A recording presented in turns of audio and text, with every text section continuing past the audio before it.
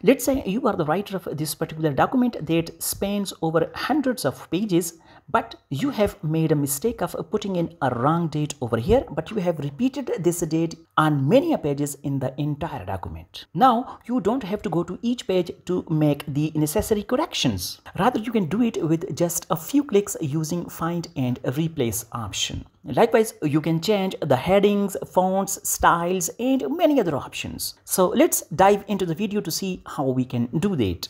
Here you can see I have this document consisting of four pages, but this date 15 May 1990 was entered wrongly. This was not the date supposed to be over here.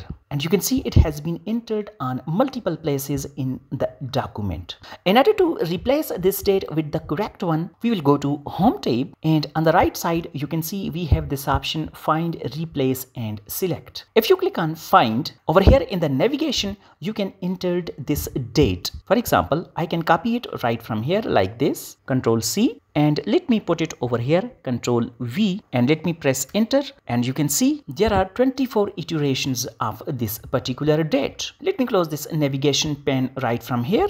Again I would go to this option replace. You can also go to find and replace by pressing the shortcut control plus H. So this is the date I need to find which I have already entered. So what you need to do first you need to enter the date over here like this and then go to the option replace with.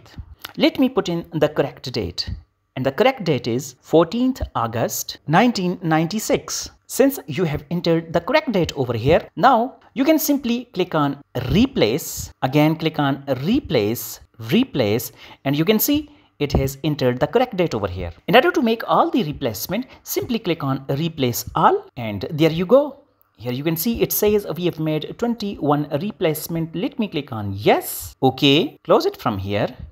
And there you can see it has made all the replacement 14 August 1996, 14 August, 14 August 1996 and so on. Let me press Ctrl Z to undo it. It was just a demonstration to show you how we can actually do that. It's not just about replacing the dates or the words. You can also change the style, font, or even formatting of the document as well. Let me click on replace again. Let me clear both the option find what and then replace with as well. Right over here, you can see we have many other advanced options as well. If you are interested, you can try them out as well. Now let me change these chapter which are in bold style and italicized. So I would keep my cursor right over here in find what search bar. Then go to this option format, go to font option and I want Microsoft Word to look for this particular formatting which is actually italic, bold and its font size is 11 so I'm gonna put it over here 11 so this is what Microsoft Word would look for in the entire document so I would click on OK next I'm gonna keep my cursor right over here in the replace with option. I would go to format option and I would go to style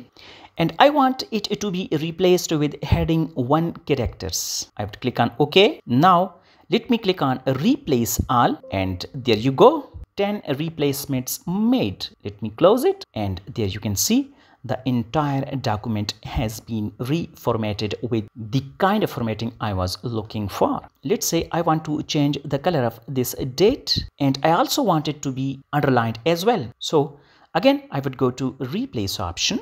So over here, I would enter the date like 15th May 1990 and I would replace it with this one, which is, let's say it's 20th May 1996 and I want a little bit tweaking of the formatting as well. So I would go over here. Make sure that your cursor is right in this replace with search box. Now go to font option and let me put in a font color which is this one. And I want it to be underlined with double lines and I want its font size to be let's say 12 and the font should be New Times Roman and if you want you can also make some other changes as well. So let me click on OK, click on replace all and there you go. All done. We have made 24 replacement. Let me click on ok. And uh, there you can see it has done all the replacement. It has changed the date to 20th may 1996 although it does look quite a messy but it was just a demonstration to show you what can be done with this find and replace option. As i mentioned there are some other multiple options as well. You can try them out on your own. So that was it for today's tutorial. I hope you have found this tutorial useful. Please give this video a thumbs up. Subscribe to my channel and thanks for watching